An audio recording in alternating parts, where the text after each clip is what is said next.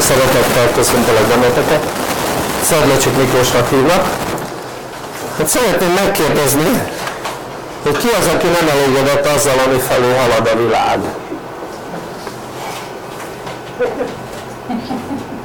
Nem vagyunk elégedettek? És mi baj van a világ haladásával? Mondjuk az irányok például. Ez irányával van gond? Rossz irány. Rossz irányba halad? Szomorúak, bánatosak. Szomorúak, bánatosak az emberek? Uh-huh. Sok a gonoszság. Sok a gonoszság?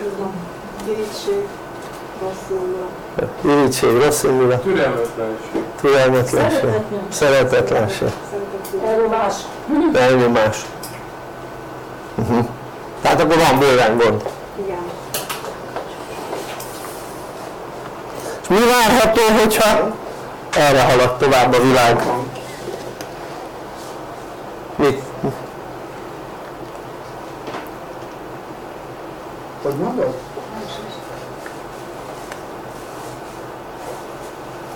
Mondjál valamit. Ja, hát eddig beszéltem, csak most elhallgattam, hogy Jó. Oké, rendben. Szia. Nem sistereg meg. Ja, most oké, rendben. De azt mondja, szünetben még picit kéne igazítani rajta, vagy. Hát most próbáltam. Több dolgot is tekergetem. Na szóval a lényeg az, hogy nem vagyunk az elégedettek azzal, és mi várható, hogyha ebbe az irányba halad tovább a világ szerinted? Katasztrófa. Négy.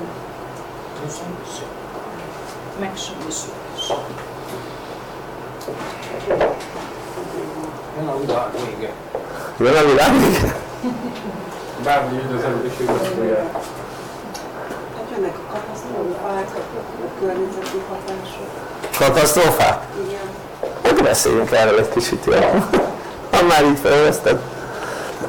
Ugye én a 90-es évek végétől figyelgettem, hogy hol vannak katasztrófák a bolygón, és amikor katasztrófák történnek, akkor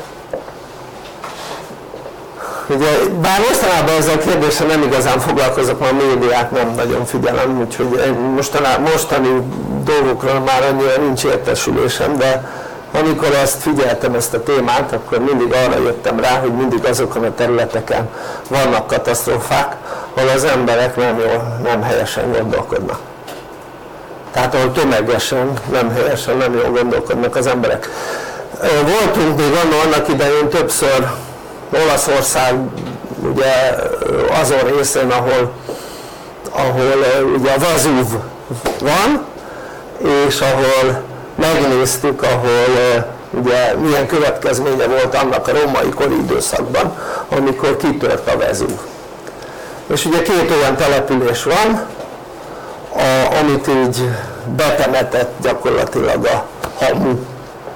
És ugye mind a két helyen voltunk, megnéztük, és ugye nem egyszer voltunk, mert ugye különböző társasággal voltunk, de mindig PPH-s társasággal, és ugye másodszor, amikor voltunk, pont Pomperben voltunk, és a Vezúv fölül jött ilyen totál elsötétedés, és utána ilyen vihar volt, tehát olyan volt, mintha így, így modellezte volna nekünk azt a helyzetet, amikor lehetett maga az az esemény. Nyilván azért az eső az nem olyan, mint, mint, mint akkor volt, de a lényeg az, hogy egy kicsit ugye átéltük azt a fajta ö, dolgot, na most ugye amikor az ember jobban utána néz annak, hogy hogy éltek akkor például Pompejbe az emberek, akkor igazából az erkölcstelenség az hát eléggé magas szinten működött a városban, és ugye ott jártunk, keltünk az utcákon, és tel is tele volt kocsmákkal. Tehát ami azt jelenti, hogy rengeteg kocsma volt, tehát gyakorlatilag kicsit ahhoz hasonlított a működés, talán még erkölcstelenebb szinten, mint ami, amivé most alakul a világ. És gyakorlatilag ott azok haltak meg, akik es, akiknek esélyük se volt arra, hogy változzon. Nem azért, mert hogy meghaltak, hanem ők maguk nem akartak változni. És valahogy azok megúzták az egészet, mert éppen nem voltak jelen, akik mert volt esély arra, hogy változzanak. És ugye utána még jobban figyelgettem, amikor ugye Pompejben voltunk, azután még jobban figyelgettem ilyen katasztrófás dolgokat, és van egy olyan film, film hogy Home, az a címe, Otthonunk, ez egy ilyen két részes film, egy, egy órás, azt hiszem, hogy jól emlékszem, a weboldalunkon is fent van, és ugye ezt egy elnök jelölt csinálta, még akkor nem volt el, elnök jelölt, utána lett elnök jelölt, amerikai elnök jelölt, csinálta ezt a filmet, és ugye abban egész jól szemlélteti, hogy, hogy a világban mik vannak, és akkor beszélt, a filmben még megnézed, beszélt egy szigetről, mindig ezt a kettőt keverem, ezt a Tahitit meg Haitit, annyira hasonló. Melyiken volt utána Manóa még egy jó pár évvel ezelőtt a Haitin, egy, volt egy nagy, igen, egy nagy földrengés, ahol rengetegen meghaltak, és rengeteg árva gyerek maradt. És ebben az Otthonunk című videóban leírták, vagyis hát ugye a film egy része arról szól, hogy ezen a szigeten hogy lepusztították az emberek magát a szigetet, hogy tönkretették a szigetet. Na most, ha az emberek tönkretesznek valamit, akkor az, hát kik tesznek tönkre alapvetően dolgokat, meg, fog, meg fognak lepődni azok, akik ezt nem tudják, hát azok, akik rossz állapotúak. Tehát rossz állapotúak. Ha egy rossz, van egy, létezik egy rossz állapotú ember, akkor annak a gondolkodása sem helyes. Tehát, hanem helytelen. Tehát, hogyha mondjuk egy szigeten olyan emberek élnek, akik lepusztítják, tönkreteszik a szigetüket, akkor azok rossz állapotúak alacsony rezgésűek, az alacsony rezgés az hat a, mint energia, az, energi, az ott lévő energiákra, és létrejön belőle magából a gondolkodásból egy olyan fajta természeti katasztrófa, ami által nagyon sok ember, aki ott él, meghal, aki mondjuk a kisebbséghez tartozott, és nem ez a pusztító rossz állapotú emberekhez tartozott, azok éppen nem is voltak a szigeten, tehát gyakorlatilag vagy, vagy éppen ha voltak, akkor túlélték magát az eseményt, és nagyon sok árva gyerek maradt meg, ugye miért? Mert még valamilyen szinten a gyerekek azok mondhatjuk azt, hogy még változó képesek és hát ártatlanabbak. Hát attól függ, hogy mennyire szúrják el. Én ismerek olyan gyerekeket, akik nagyon jó képességekkel születtek, és hát elég hülye szülőket kaptak, tehát mit jelent az, hogy hülye, hogy tudatlan. És lényeg az, hogy olyan formában elrontották a gyereküket, hogy már mit tudom én, már, már öt évesen májva rontva. Érted? Tehát uh, hiába születik le mondjuk egy jó képességű ember, és sőt jobb, jobb képességekkel születnek a mostani gyerekek, mint Danában, Hajdan, mégis, hogyha ugye a szülők tudatlanok, akkor nagyon el tudják rontani a, a gyereket. És, és nagyon hamar el tudják rontani, tehát nem kell megvárni még azt se, hogy iskolás legyen. Ugye, mit tudom mondjam, ha szeretnétek, akár mondhatok példákat is, hát ugye nem konkrétat, csak ugye általános példákat, hogy például tudom, azt csinálják, hogy a gyereknek megadnak mindent. Illetve a gyerek azt csinál, amit akar, sőt a gyerektől megkérdezik, hogy mit akar. és amit akar, az történik a családban. Szóval igazából nem a szülő irányítja a gyereket, hanem a gyerek irányítja a szülőt, és onnantól kezdve nyilvánvaló például nem állítják meg azt, hogy ne hisztizzen, és tehát gyakorlatilag azt, amit akar a gyerek csinálni, ezt szülei rájuk, ráhagyják a gyerekre. Na most egy ilyenfajta neveltetéssel pár év alatt el lehet azt érni, hogy egy értelmes gyerekből egy, hát szó, szó szerint mondjuk egy hülye gyerek legyen. Tehát, de ez nem a gyerek kérdése, hanem ez a sajnos a szülő kérdése. És ahol tömegesen kezdenek el ilyen tudatlan módon élni emberek, és, és hagyják azt, hogy manipulálják őket negatív irányba, ugye ennek a manipulációnak mindig az a lényege, hogy az emberek rossz állapotba kerüljenek, mert ha nem kerülnek rossz állapotba, akkor nem tudják őket manipulálni. Egy jó állapotú ember csak drogokkal manipulálható. Tehát a drogokat adnak nekik, utána tudják manipulálni, illetve hipnotizálni. Oké? Okay? Tehát ugye egy embert simán lehet, ha rossz állapotú hipnotizálni. Simán. Egy jó állapotú embert nem lehet hipnotizálni, csak ha beadnak neki drogot. Tehát ugye, hogy az emberek azt csinálják, amit bizonyos hatalmi elit akar, akkor ehhez el kell vinni az emberek hangulatát, ahhoz, hogy lemenjen az emberek hangulata, problémákat kell elüldözni, és lemegy az emberek hangulata, utána azt csinálnak velük, amit akarnak, akkor az emberek már elkezdenek nem jól működni, nem jól gondolkodni, hogyha ez a tartós, ez az alacsony hangulat, és azáltal, ha már nem jól működnek, akkor kihat teljes egészében ugye a saját energiáikra, és a környezeti energiáival, akkor mondok példát, amit Magyarországon még egy kicsit rosszabbul gondolkodunk, még egy kicsit rosszabb lesz a hangulatunk, így lakosság szinten, nem Magyarország, bocsánat, Kárpát-medence, jó, maradjunk Kárpát-medencében, mert ugye ez egy medence, hát még egy kicsit nem kell sok hozzá, hogy egy kicsit rosszabbul működjünk, egy kicsit még alacsonyabb hangulatban legyünk, még inkább erkölcstelenek legyünk, még inkább tisztességtelenek, még inkább becstelenek, mert ugye az erkölcsből indul ki az egész, illetve az erkölcstelenségből. Még ezt ugye csinálják, és akkor utána elérjük azt a saját gondolkodásunkkal, hogy hirtelen megárad minden víz, amit létezik a medencébe, az összes folyó, és akkor.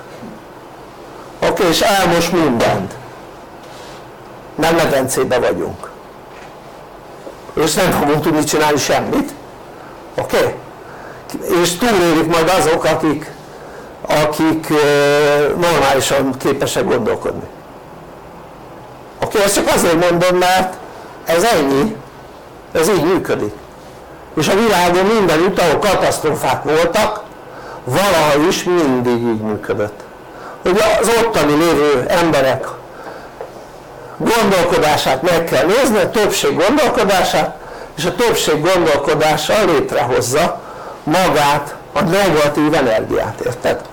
És a negatív energia az megjelenik katasztrófa formájában. Tehát koncentrálódik a negatív energia a gondolataink által, és megjelenik katasztrófa formában. Hát ezért van az, hogy például egy jó állapotú ember egy jó hangulatú, jó állapotú, az útján lévő ember nem ér baleset, nem lesz beteg, nincsenek család és nincsenek anyagi problémái. Akkor ezzel szemben nézd meg egy olyan ember, aki nem jó állapotú, időnként vagy rendszeresen beteg, könnyen érjött baleset, nagyon könnyen lesznek család és anyagi problémái. Így működik. Jó, és ha tömegesen az emberek rosszul működnek, akkor most mondok példát, jó? Mit tudom én mondjuk egy nép hosszú időn keresztül, mit tudom én más népek rovására működik. És mondjuk egy szigeten van az a nép, jellemzően. Akkor az a sziget előbb-utóbb el fog süllyedni. úgyhogy körülbelül az vár mondjuk Angliára ezt csak úgy mondom hogy tisztában legyetek vele, esetleg akik ott dolgoznak. Komolyan? hát ugye megnézzük a legtöbb embert a földön az angolok írtották ki. Tehát egyetlen egy más nép nincs amely annyi embert írtott ki mint az angol. Na most ugye azt nem gondolja valaki komolyan hogy ennek nem lesz következménye jó? tehát semmi nem nincs véletlenül.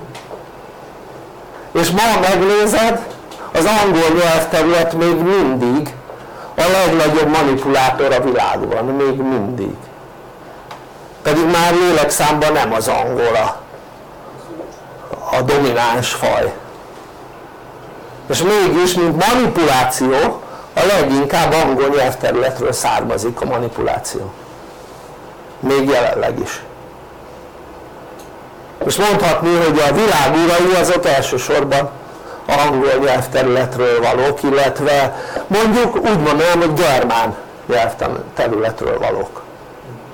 Mert ugye az angol is egy a germán nyelvterület része. Tehát a germán család. És akkor úgy lehetne nézni tovább hogy mit tudom én mondjuk a mennyit írtottak ki mondjuk a németek meg stb. stb. franciák ugye belgák, hollandok, hát az összes amelyek meg gyarmata volt oké? Okay? spanyolok, így van jó, tehát hát ugye Amerika az nem nép mert az nem nép, csak próbálok belőle valami népet kovácsolni mert az, az népek közössége gyakorlatilag ez körülbelül Amerika olyan, mint az Unió hát az nem egy nép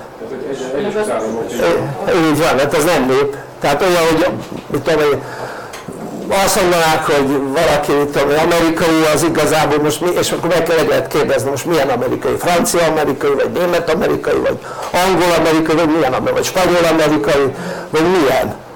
Ugyanúgy, ha valaki azt mondják, hogy az EU-ból jött, akkor onnan jött Magyarország, magyar EU-s, vagy osztrák, vagy német, vagy dán, vagy milyen.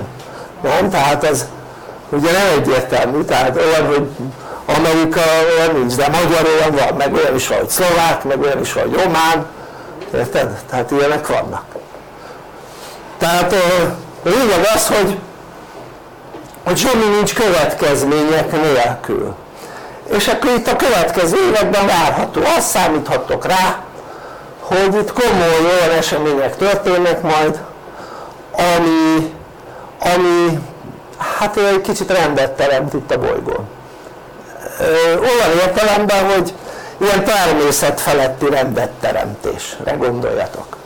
Tehát nem ember által létrehozott rendteremtés, nem, nem, annak mindig diktatúra a következménye. Hanem a ilyen természet feletti rendteremtés. Hát ha jobban megnézzünk ránk, ránk is fér tehát ezt kell mondani. Nem csak ránk, hanem ugye a világra, a bolygóra. Tehát rá, rá is fér. És onnantól, onnantól kezdve lehet nézni azt a dolgot és akkor mi lesz minden dolognak a következménye. És most ez nem félelem, ez tudom hogy így lesz. Tehát, tehát ugye az a félelemkeltés hogyha például azt mondják hogy tehát olyan dologról beszélnek aminek kicsi az esélye. Érted? tehát itt tudom én mondjuk azt mondják hogy nem menj ki augusztus 20-án mondjuk tűzijátékot nézni mert, mert mit tudom én valami bajod lesz. Na hát annak nem sok esélye van vagy, vagy tudom, az, az ijeszgetés amikor avval ijeszgetik az embereket hogy mit tudom leszakítják a nyakláncot a nyakából mi az esély, vagy hogy betörnek a lakásodba. Mi az esély rá, tehát igen kicsi az esély rá hogy megtörténjenek ezek a dolgok. De az hogy az emberek negatívan gondolkodnak és ezáltal létrehozzuk a magát a negatív energiát a bolygón és annak következményei lesznek ez egyáltalán kiszámítható. És nem mit tudom, 1% esélyed van rá, hanem mondjuk, hogyha az emberek tömegesen nem kezdenek el másként, pozitívabban gondolkodni, akkor, akkor ez lesz. Na most annak meg, hogy az emberek maguktól elkezdenek pozitívabban gondolkodni, ugyan meséltek már el nekem, hogy gondoljátok végig, mekkora esély van rá. Nulla százalék. Tehát nulla százalék. Tehát maguktól az emberek nem fognak elkezdeni másként gondolkodni, ha olyan hatás éri őket, akkor külső hatás, akkor elkezdenek másként gondolkodni. Tehát most ugye megnézzük, amilyen világban élünk, tehát gyakorlatilag az emberek úgy élnek, hogy kívülről keresik a boldogulást. Tehát kívülről keresik a boldogságot. Tehát az emberekkel elhitették azt, hogy a boldogság érzet ez kívülről fakad. Miért nem így van? Hát ami azt jelenti, hogy mit tudom én, vásárlás, nem? És akkor azt gondolja, hogy akkor boldog. Nyaralás, és akkor azt gondolja, hogy boldog, nem? Mit tudom én, már nem úgy működik a párkapcsolat, akkor új párkapcsolat, nem? És akkor úgy gondolja, hogy majd attól boldog lesz. Stb. stb. És akkor lehetne ezt így sorolgatni tovább. De hát ez mind külső dolog. Tehát még gondolj bele, valakinek van egy párja, és és azt gondolja, hogy akkor lesz boldog, hogyha lesz neki egy másik, hát az uh, milyen, hát mennyi, tehát igazából azt is mondhatnánk, mennyibe kerül. És nem csak anyagi szempontból nézve. Tehát mit, mit okoz vele az ember? Tehát ugye egy olyan társadalomban élünk, ahol nem megjavítanak dolgokat, hanem kicserélnek, nem? Tehát mindent úgy hoznak létre, az összes műszaki dolog arról szól, hogy ne javítgassák, hanem cseréljék, nem? Na most ez rávetődik az emberi életre is, tehát hogyha egy kapcsolat nem úgy működik, akkor cseréljük le, nem? Hát nem ez a megoldás. Hát nem ez a megoldás. Tehát lényeg az, hogy egy olyan világban élünk, ahol ilyen úgy élnek az emberek, hogy kívülről keresik a boldogságot. De a boldogság tudod honnan fakad? Hát nem kívülről, belülről. Hát ott kezdődik, hogy önmagaddal kapcsolatban milyen harmóniát vagy képes teremteni. Érted? Önmagaddal kapcsolatban. Akkor mennyire vagy kiegyensúlyozott? Belül, nem kívül, belül. Érted? Akkor mennyire vagy kép, mennyire, mennyire hiszel magadban? mennyire hiszel magadban, mert ott kezdődik, ha nem hiszel magadban, akkor a teremtő képességed az akár nullára leeshet. Ha hiszel magadban, és minél jobban hiszel magadban, a teremtő képességed annál magasabb szintre tud jutni. Na most, ha egy ember nem teremt, akkor nem tud boldog lenni. Hát most gondolj bele, a békét elsősorban magadban kell megteremteni. És ha magadban megteremted a békét, akkor békességbe tudsz élni más emberekkel. De egy ember még arra se képes, hogy magában megteremtse a békét, akkor mit akar kifelé? Hát a legjobban kéznél önmagad van, nem? De annál jobban kéznél nincs semmi, nincs saját magad. Nem? Ha belőle indul ki.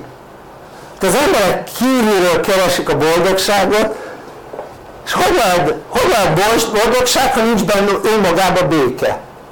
Érted? Tehát még arra se képes, hogy magába békét teremtsen, saját magába. De akkor nézzük tovább ezt a kérdést. Az emberek azt szeretnék, hogy szeressék őket, nem? Mert ugye a boldogságnak a feltétele, hogy szeressék az emberek egymást. Hát de a szeretetet magunkban meg kell teremteni. Hát egy ember nem képes arra, hogy ma önmagában megteremtse a, szeretetet. Akkor mit vár kívülről? Akkor hogy lesz boldog? Hát egy ember arra se képes, hogy ő magában szeretet teremt, szeretetet teremtsen. Akkor mit akar? Hogy akar boldog lenni. Tehát így kezdődik a teremtés, hogy magadban miket teremtesz. Tehát ott kezdődik például, vannak olyan emberek, akiknek nagy gondjaik vannak a harmóniával. Aha, és mennyire vagy harmóniában magaddal? Tehát meg tudod magadban teremteni saját magadban a harmóniát. Megint ugyanerről szó.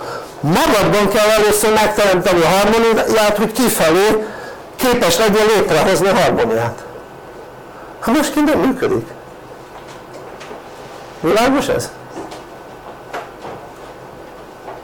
És akkor az emberek külső körülményekhez, külső körülményekből próbálnak boldogságot teremteni. De az nem teremtés, hogy azt mondod, hogy hát és van pénzem, ezért tudom finanszírozni az úti költséget, meg tudom finanszírozni a szállást, és ott milyen jól el leszek. Aha. De a legtöbb, ami neked van, ez nem egy szállodában lesz, hanem otthon van. Érted? Tehát egy szállodában nem tudod azt megteremteni, ami neked otthon van. Akármennyit fizet, fizethetsz mondjuk egy hétért több millió forintot is. A vagyonod, ha van otthon, tehát van tulajdonod, akkor is több, mint amit ott kifizettél a szállodába. Érted? Tehát ami azt jelenti, hogy a legtöbb, ami otthon van számodra, az otthon van. És az emberek kívül keresik. És közben kihányják a pénzt az ablakon. Nem? Miért nem ezt csinálják? Főleg most, hát nézz körül. Üres az utca. Nem? Alig jár autó. Úgy lehet közlekedni, mintha éjszaka lenne. Itt mondjuk egy óra lenne körülbelül éjszaka. Körülbelül annyi autó van az utakon. Itt Budapesten. Hát ki lehet a város? Az összes szálloda, ami létezik, szállás mint tele van.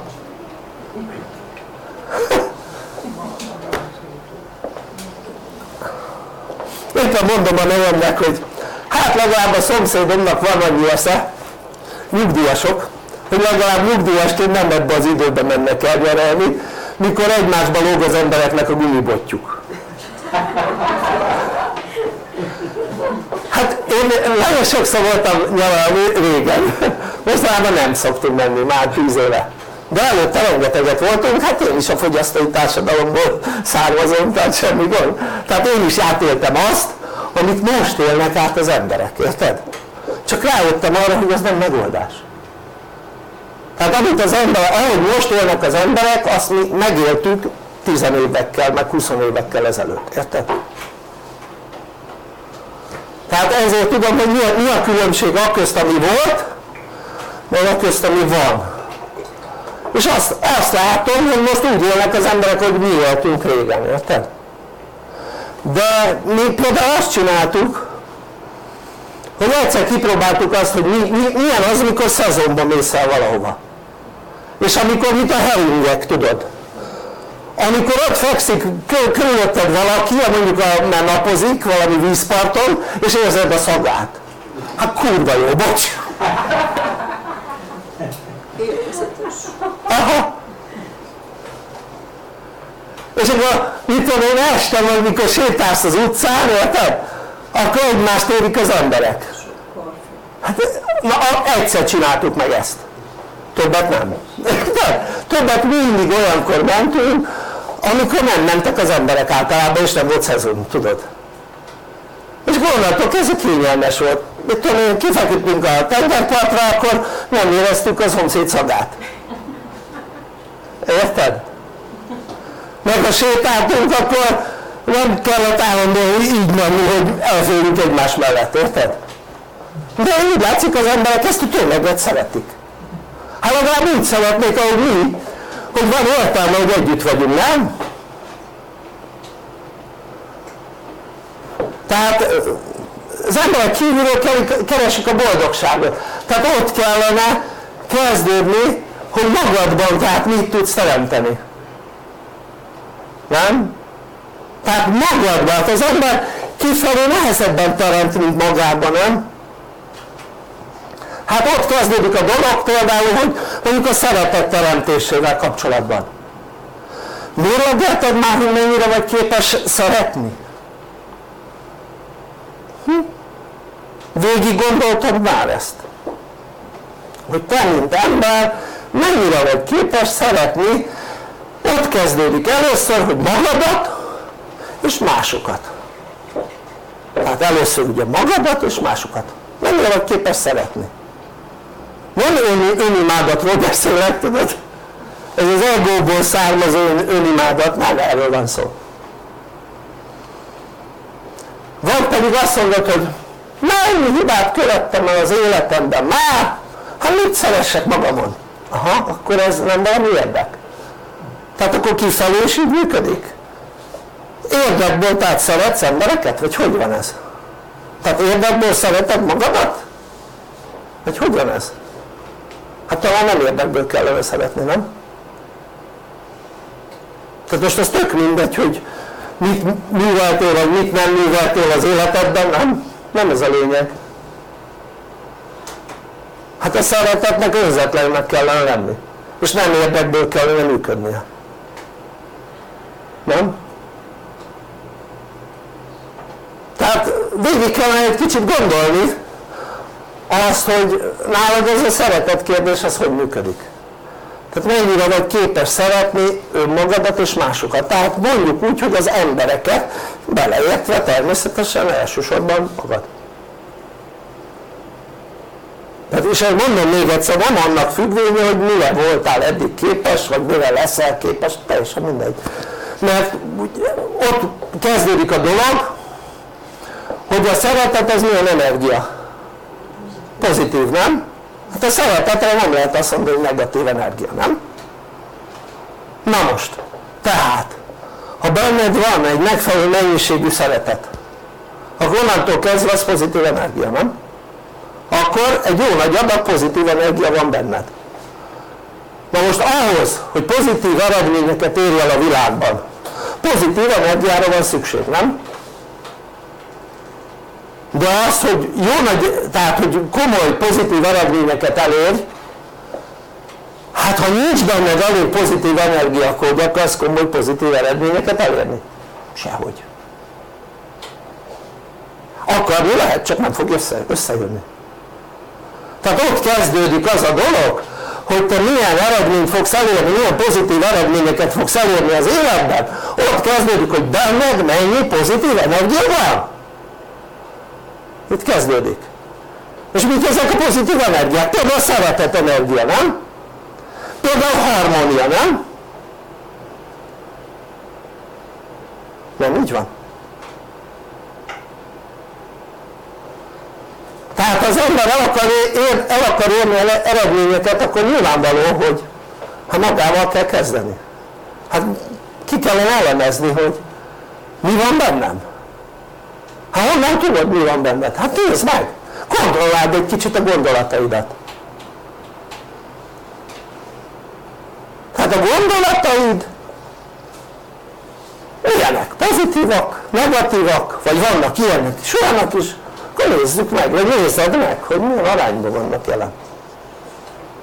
És akkor ebből fogod szépen látni, hogy hogy állsz a pozitív energia kérdéssel. Ha persze, működik az is, hogy az ember nem eléggé pozitív energiával rendelkezik belül, és akkor mik lesznek a végeredmények? Hát nem eléggé pozitív. Hát körülbelül, ami bent, az kint. Érted? Tehát ami benned van, az, az mutatkozik kifele a végeredmények tekintetében is. Tehát ha azt akarod, hogy a végeredmények olyanok legyenek, amit szeretnél, akkor magadba kell először nézni. Hogy a benned lévő gondolatok tükrözik a benned lévő energiákat.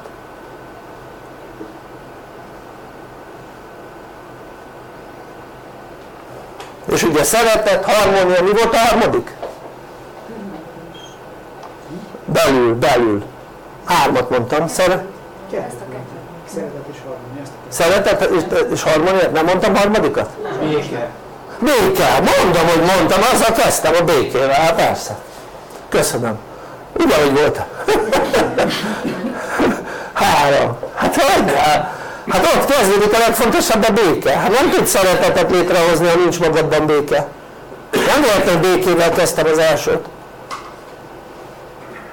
Hogy akarsz harmóniát, ha nincs béke? Hát az első és legfontosabb, mert innen indul ki minden, hogy béke legyen magadban. Békét tud magadban teremteni. Ne békétlenség legyen. A békétlenséggel hova mész? Hova jutsz? Sehova. Érted? Igen.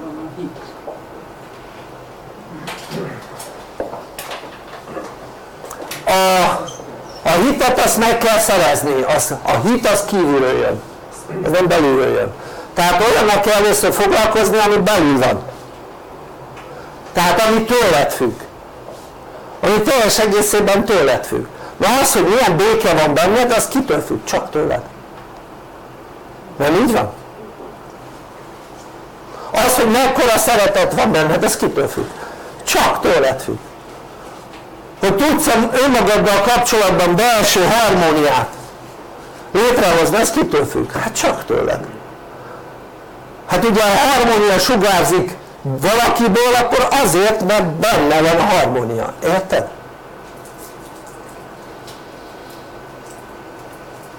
És ez onnan indul, ki az egész, hogy béke. Béke. Nem kívülről, bent, belső béke. Oké? Okay? Tehát tessék maguk, maga, magadba nézni. Tehát nézd magadba. Hogy állsz ezekben a kérdésekben? Hogy állsz a békétlenséggel? Én szoktam figyelni embereket, kicsit rosszabb, tehát nem is azt mondom, hogy rosszabb, hanem kicsit valami nem úgy történik, ahogy ők szeretnék, már is békétlenség van benne. Miért nem így van? Nézzetek körül. Kicsit valami nem úgy történik, ahogy ő szeretné. Vagy mondjuk a másik nem úgy reagál, ahogy ő elvárná. Már is létrejön benne a békétlenség, már is megnyilvánul benne a békétlenség. Most gondolj bele, milyen egyszerű lenne a dolog, mielőtt reagálnál, csak azt a szót mondanád magadból, hogy béke. Valakinek megy a Skype-ja, a Jumuska, a hangot vedd le, légy szíves, köszi. Jumuska, vedd le a hangot. Köszönöm. Jó, tehát mondom, gondold végig, miért tudnám megcsinálni azt, hogy mondjuk azt mondod, béke? Jó, az már képzés, úgyhogy jöjjünk vissza egy kicsit. Mert a képzés az nem ide tartozik. Hanem melyik része? Hát a következőbe. Jó, úgyis most olyan témáról van szó, hogy hogy kell a szenvedélyekről leszokni. Nagyon kevés olyan embert ismerek, akinek nincs valami szenvedélye. De a többségnek van. Nem megnézitek? Többségnek van valami szenvedélye. Sajnos egy ilyen világban élünk már. Na most ugye, majd mondom a képzésen is, de így előzetesként. Miért alakul ki egy szenvedély? Hiány. Pótlás. Pótcselekvés? Azt akartad mondani? Igen. De pótcselekvés akkor miért alakul ki? Nyugtalanság van bennem. Hát akkor nincs benne béke. Békétlenség. Békétlenség van benne. De igazából azt mondanám, hogy a teremtés hiánya. Tehát megnézed az összes szenvedély mögött teremtés hiány. Tehát az illető azért nem boldog, mert nem teremt. Érted? És ezért kell neki pótcselekvés. Mert nem boldog. miért nem boldog az ember? mert nem teremt tehát az nem teremtés hogy hogy mondjuk egy munkahelyen dolgozik aztán megkapja a bankszámlájára a lóvét. Tehát ez nem teremtés. De már elég kevés olyan munkahely ahol, ahol mondjuk borítékból adják a fizetést. És akkor esetleg még meg is köszönik a munkáját. Nem ez a jellemző hanem az a jellemző, hogy megy bankszámlára a lóvé, ez kész jó, tehát hol a teremtés? nincs megköszönés nincs elismerés nem? az ember teszi a dolgát senki nem köszöni meg, nem ismeri el erről beszéltem szerdán de lehet hogy a klubban, nem? Nem, rendes a rendes előadásban? nem baj, belefér az ebbe is hát nincs teremtés tehát a teremtés hiánya miatt az emberek pótcselekvést csinálnak. Tehát ugye mi a teremtés? az hogy értelmes dolgot csinál az ember, mi az hogy értelmes dolog? más javát szolgáló. Tehát mindig az az értelmes ami mások javát szolgálja. Nem más, mások javát szolgálja. Tehát lehetőleg minél több ember javát szolgálja tehát minél több ember javát szolgálja valamit amit csinálsz annál jobban fogod magad érezni a bőrödben. Ez így működik. Na most és ez nem így működik az embereknél hát nem így működik. És hiányzik a teremtés és akkor kell valami boldogságpót cselekvés ami a látszat boldogságokat okoz no tehát. Itt van egy kérdés. Hát az emberek alapvetően nem ismerik sajnos hogy mi emberek hogyan működünk. Tehát nem a szerveink működését kellene ismerni hanem azt, hogy miért csináljuk azt, amit csinálunk. Tehát miért csinálunk időnként furcsaságokat miért reagálunk úgy, hogy hogy nem kellene, vagy más miért reagál úgy, ahogy nem kellene. Tehát ugye nem csak rólunk szól a történet hanem általánosan az emberekről. Tehát most gondolj bele, milyen jó lenne egy olyan emberi működés hogy bárkinek akivel kapcsolatba kerülsz értenéd hogy miért teszi azt amit tesz mondod végig. Tehát melyik a jobb? ha nem tudod hogy miért teszi azt amit tesz vagy tesz valamit és tudod hogy miért tette. Hát gondold végig amikor az ember konfliktusba kerül valakivel mindig azért van konfliktus mert nem értjük hogy ő miért csinálja azt amit csinál. Mindig. És ez, ebből a meg nem értés miatt fölkapjuk a vizet. Nem? És akkor az van valamilyen módon a fejünkben hogy hát de, de miért nem ilyen, vagy miért nem olyan, vagy miért nem ezt csinálja, vagy miért nem azt és ez a meg nem értés miatt lesz egy konfliktus, hogy ő se érti, hogy mi miért csináljuk azt, és mi se értjük, hogy ő miért csinálja, és már kész is a konfliktus. Tehát éppen jöttem idefele, és pont ment a rádió, és ugye a zene szokott menni, de most csak a rádió ment, valamilyen formában. És ugye emlékeztek egy olyan együttes, hogy Hungária.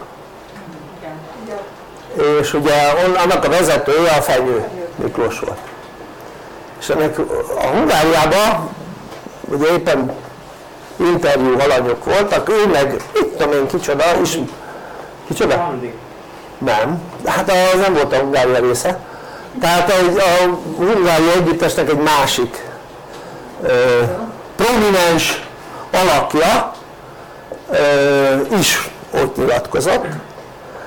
És ez a két személy, a fenyő meg ez a Novai, vagy nem is tudom, hogy hívták azt hiszem. Novai Gábor, ha jól, jól emlékszem, 11 évig nem szóltak egymáshoz. és csak itt így nem részletezték, hogy miért nem szóltak egymáshoz. Ezért ugye nem is hozták létre addig a, a Hungáriát, amíg nem szóltak egymáshoz. Mármint úgy értve, hogy újból. És, és akkor azért nem szóltak egymáshoz, mert hogy kihívja fel a másikat.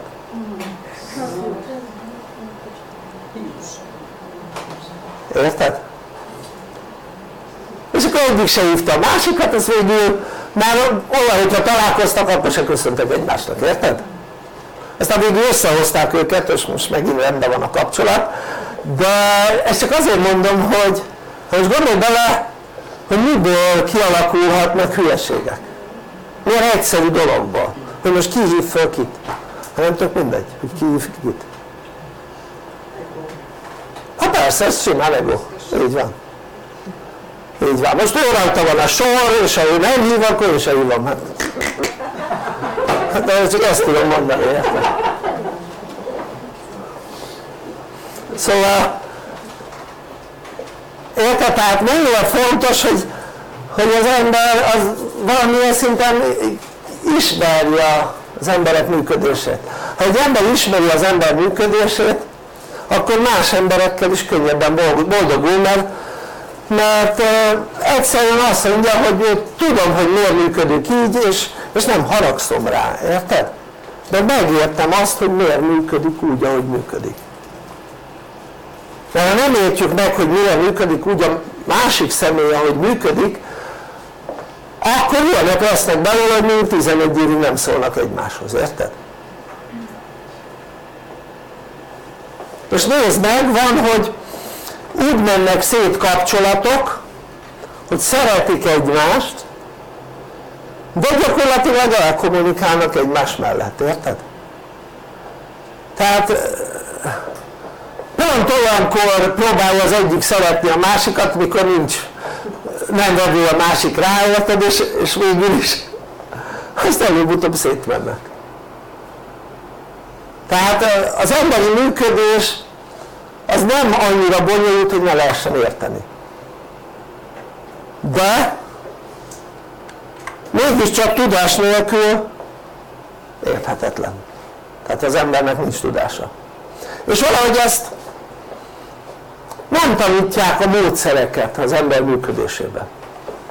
Általában. Tehát azt mondják, hogy milyen ne legyél, tudod? Vagy esetleg azt is, hogy milyen legyél de hogy hogy juss el oda? érted? hát azt nem mondják, azt valahogy nem tanítják, de, tehát nincs hozzá módszer az embernek különben is van egy alapvető működése az, hogy egy jól alkalmazkodó lény, a környezetéhez jól alkalmazkodó lény és ebből a tudásból tehát ennek a, ebből a tényéből kiindulva hogy mi egy jól alkalmazkodó lények vagyunk ugye abból tudni kell azt, hogy mindig ahhoz a környezethez alkalmazkodunk, amiben vagyunk. És az első sorban az a környezet, azok az emberek. Ezért van az, hogy azok az emberek, akik nincsenek emberek közt, mit tudom kiköltöznek mondjuk egy tanyára. Érted? És, és itt tudom egy házas pár mondjuk egy tanyán él, vagy vidéken mondjuk egy, egy farmon, vagy egy erdőben, ahol senki nincs. Hát egy idő után képtelenek lesznek arra, hogy emberekkel együtt legyenek, érted?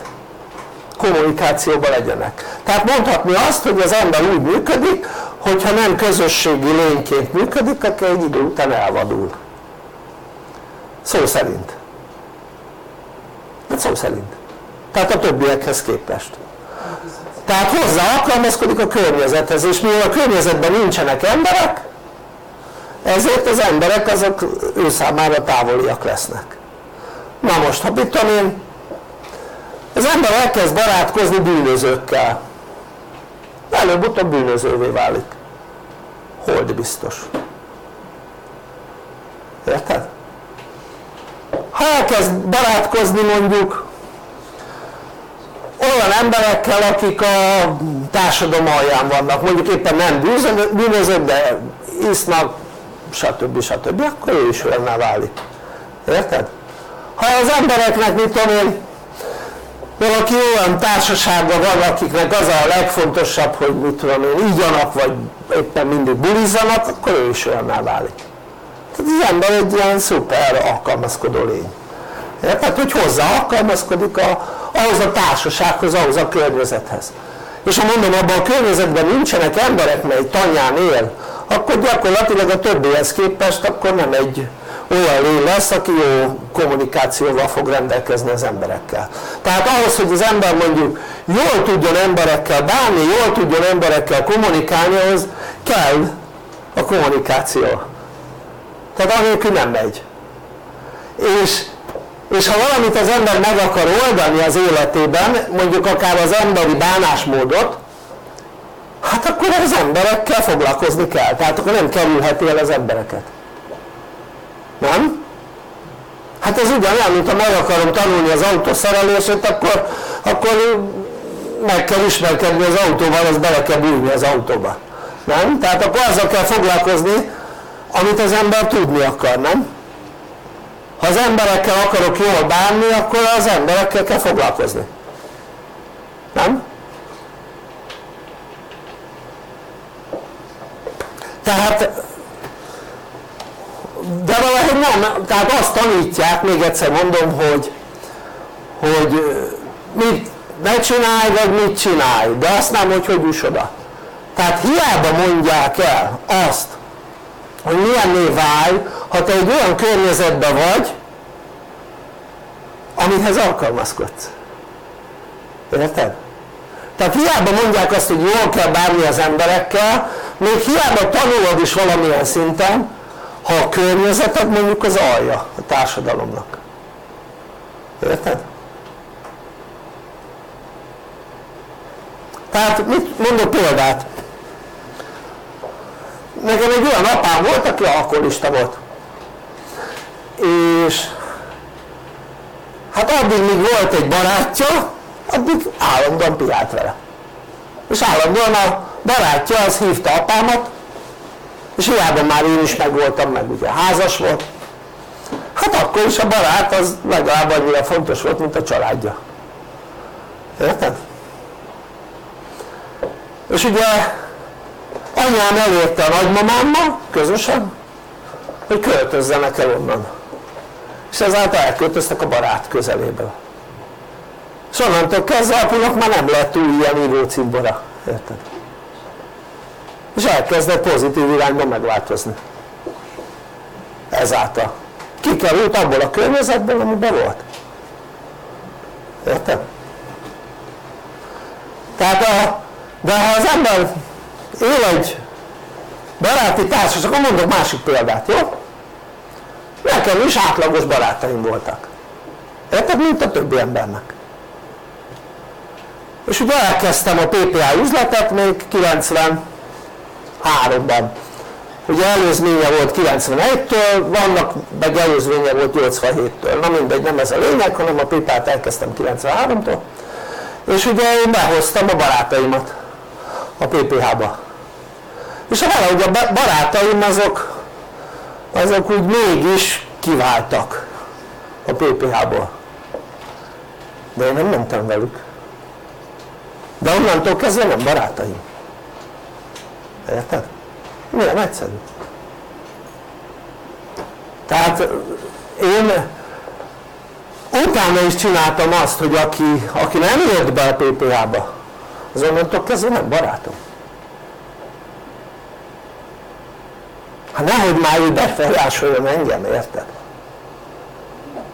Hát akkor már lesz innen barátom, hát ennyi. Ezt így gondoltam, és ez így is működött. Tehát ezért például, amikor mentünk nyaralni, már nem barátokkal, meg rokonokkal mentünk, hanem PPH-sokkal. Érted? Tehát én, én nekem ugye fontos volt az, hogy ne a környezetem befolyásoljam, befolyásoljon, hanem én befolyásoljam a környezetemet. Érted? Tehát ami azt jelenti, hogy megtartom ugyanazokat a ismerősöket, meg kapcsolatokat, akik előtte volt, és azokkal vagyok, azokkal kommunikálok, akkor én is olyan vagyok, mint ők. Hát ez teljesen logikus. Gondold végig. Tehát hogy akar az ember jobbá válni, hogy ugyanazok a barátaik, ugyanazok a társaság? Hogy?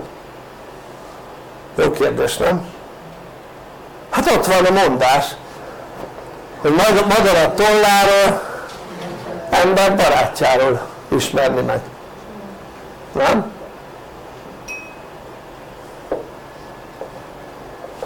Ó, hát én tudom, hogy sokan ugye azért abban a baráti körben van, mert nincs más kör egyelőre.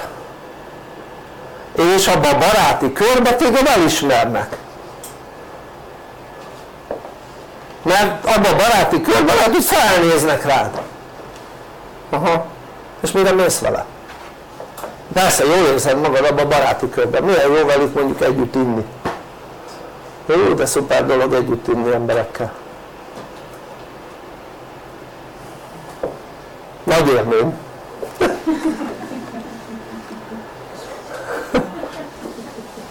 szóval lényeg az, hogy ennyi azért vannak nagyobb élmények is. Jó, tehát, ha gondolj bele, egy olyan világban élünk, ahol ilyen, elértek egy ilyen furcsa működést, érted? Tehát nézd meg, mit tudom én mondjuk a környezetedben lévő azok az emberek, akikkel a legtöbbet együtt vagy, most nem PPA-k sokat nézzük, hanem a többieket. Azok milyen életet élnek? Ami azt jelenti, hogy ha az a társaságod, az a baráti köröd, akkor te is olyan életet élsz. És az a cél? Tuti? Hm? Mire jutottak avval a fajta működéssel azok az emberek? Mit teremtenek az életükben? Például, hogyha meghalnak, mit írnak fel a sírfelidatra utánuk? Szokványos, mi? Mit tudom, nem felejtünk, kész. Vagy mit tudom, ilyen szokványos dolgot. Nem? Vagy ha most meghalnának, mit írnának fel?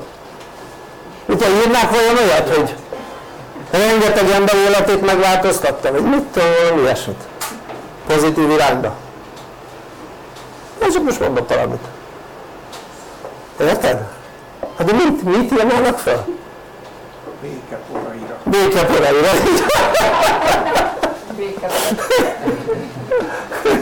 Igen.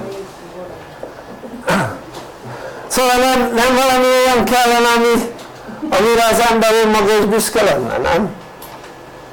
De nem az a fontos, hanem hogy mennyire vagy büszke te valamire, hanem, hanem hogy arra, amit létrehozol mások.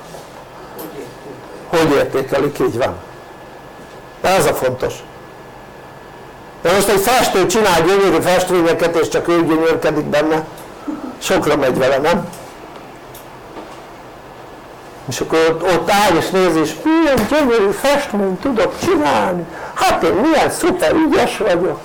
Nem? Milyen hal. Hát nem is, nem is az a lényeg, hogy jó, ha most nem mit tudom, mondjuk nagy vagyona van, és valamiből vásárolni a kaját.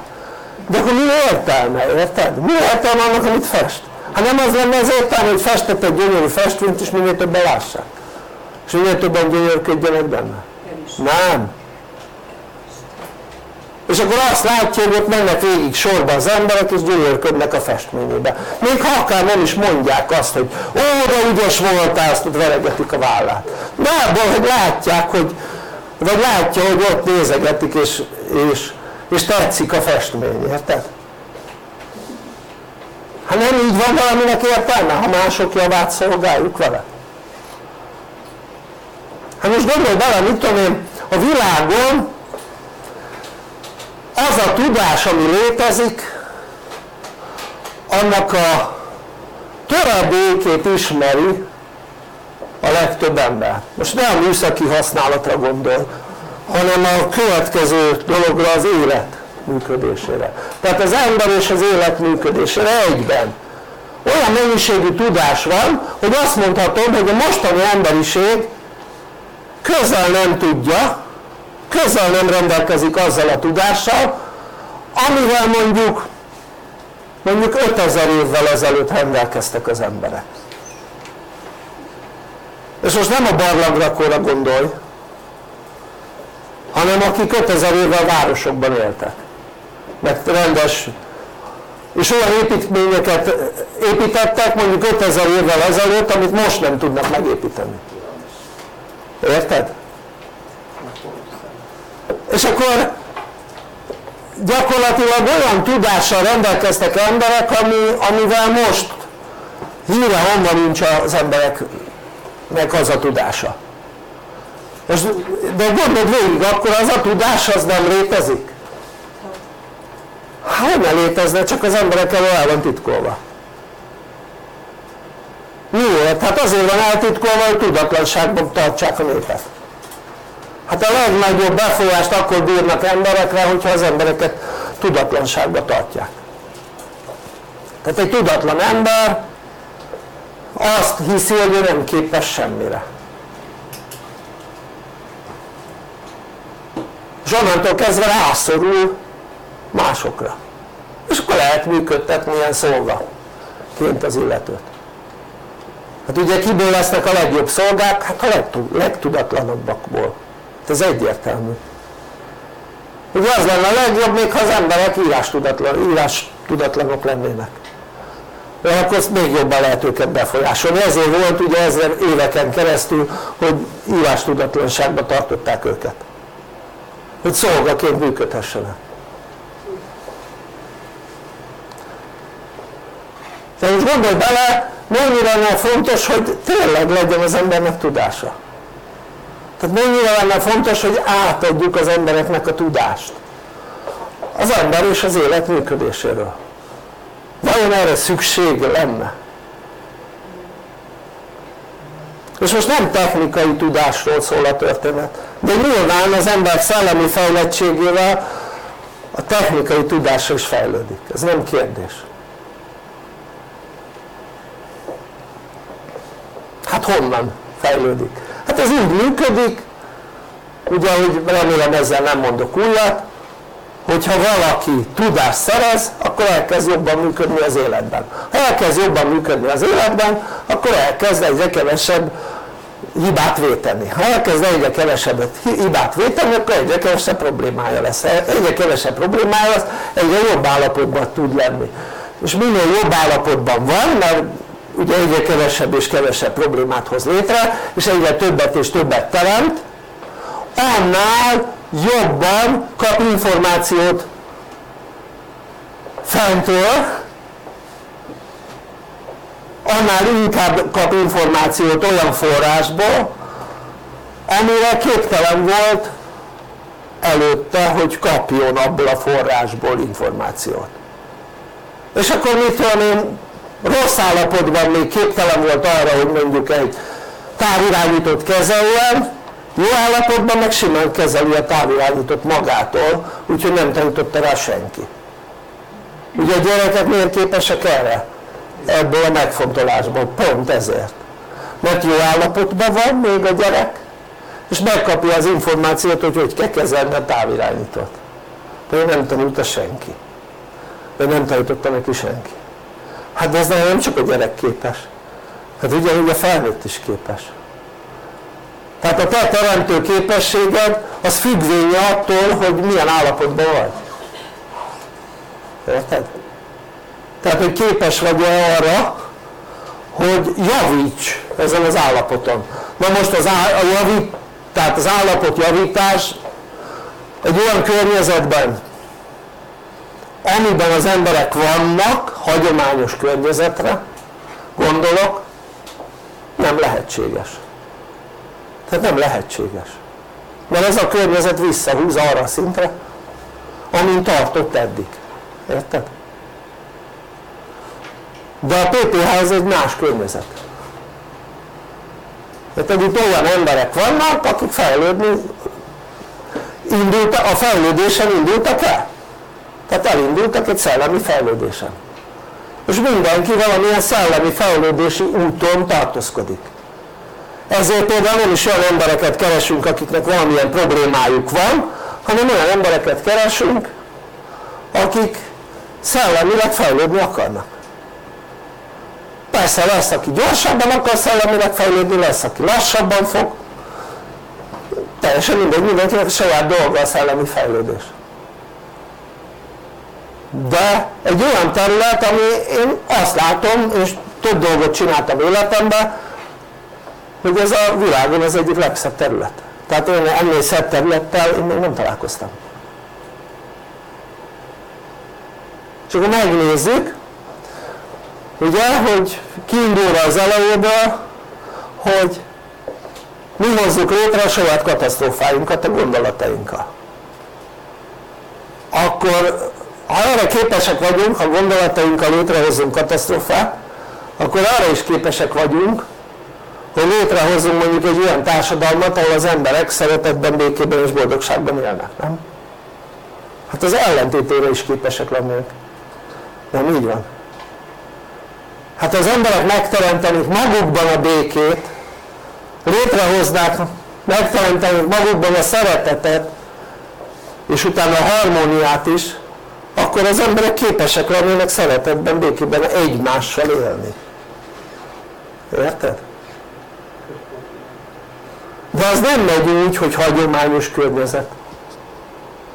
Az kell egy olyan környezet, ami ezen az alapon működik, és nem lehet azt megcsinálni, mint mondjuk a buddhisták megcsináltak. Tehát hozták a tudást, és akkor nem adták tovább, hanem egy szűk körben megtartották. És ezért jutottak oda, ahova jutottak, hogy gyakorlatilag Tibetet elfoglalták a kínaiak. Mert azóta kezdett el elterjedni a világban az a tudás, amit mondjuk a buddhisták tudtak. Tehát egy, egy tudást azt nem lehet megtartani, és nem lehet egy zárt körben terjeszteni. Érted? A tudás az mindjájunké. Ez az emberiségé, nem bizonyos szűk köré. Tehát a tudást el kell terjeszteni az emberek felé. És akkor valaki azt gondolja, de hát ugye mi nem adjuk ingyen a tudást. Hát arra ugye lehetne azt mondani, hogy Krisztus koporsóját sem ingyen őrizték. Mert ami ingyen van, annak nincs értéke. Érted? Ezt kipróbáltuk. Ingyen adtunk dolgokat, és nincs értéke az emberek számára. Hát. Nincs becsülete, így van.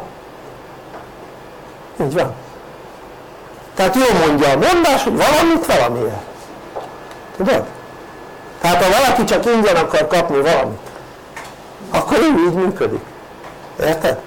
És azt úgy hívják, hogy tisztességtelen. Mert nem törekszik a tisztességes cserére. Tehát a tisztességes csere az azt jelenti, hogy adok, kapok. Nem kapok, adok, adok, kapok.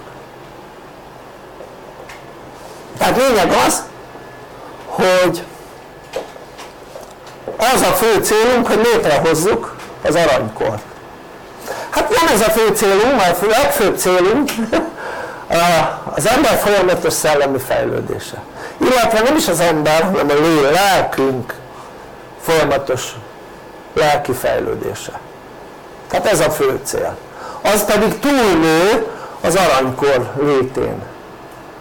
Tehát az aranykor egy átmeneti állapot, így van, egy átmeneti működés, a, hát ugye arra azt szokták mondani, hogy Isten országához. Tehát ugye ezt másként most hirtelen nem tudom kifejezni. Mert az aranykor az a, az előszobája az Isten országának.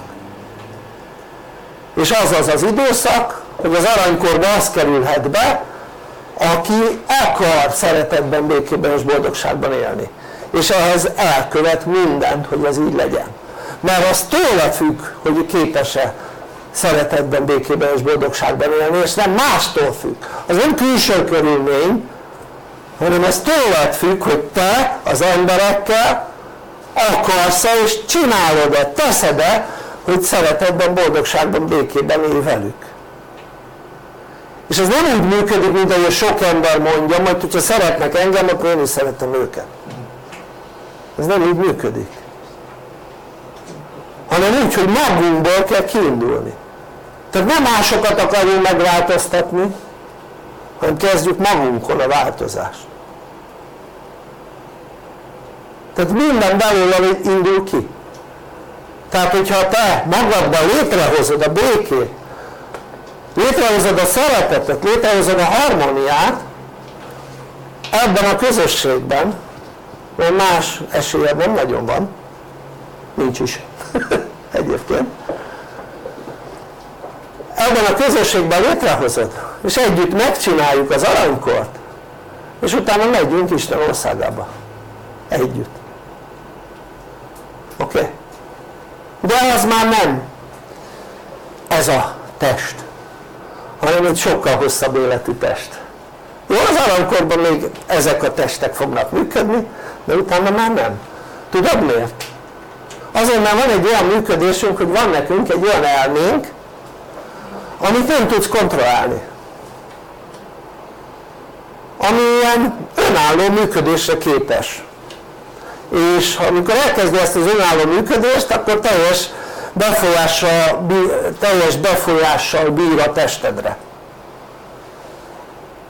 És hogy megtanuld azt hogy kontrolláld ezt a fajta működést érted? hogy mert képes vagy magadon uralkodni tehát képes vagy arra hogy önmagad úgy cselekedjen ahogy mindig adott helyzetben a legjobb akkor képes leszel akkor is a legjobban cselekedni amikor már nem ilyen tested lesz aminek van egy ilyen fajta működése érted? és akkor ezzel a testen tanuljuk meg azt hogy igazából hogyan kontrolláljuk a működésünket. Érted? tehát arra ez a test így végül is jó. És hát még arra is jó gondold bele hogy van x évtizeded vagy éved hátra. Éved évtizeded hátra. Hát az alatt kell eljutni arra a szintre hogy képes legyél valamilyen szinten szeretetben, békében és boldogságban élni.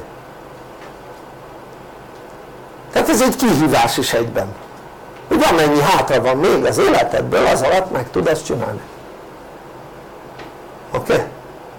és ebben egyre jobb és jobb tudja lenni. Tehát vannak itt dolgok, feladatok de egy jó dolog mert történelmet írunk.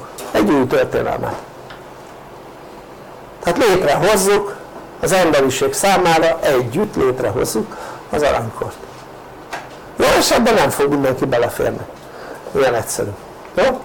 aki belefér, belefér, aki meg nem így járt ennyi.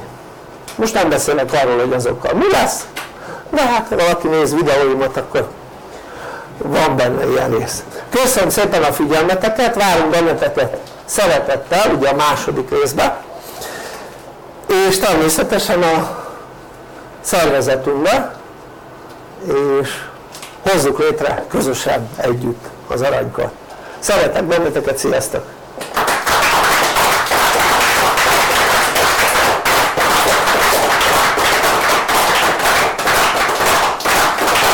Köszönöm szépen!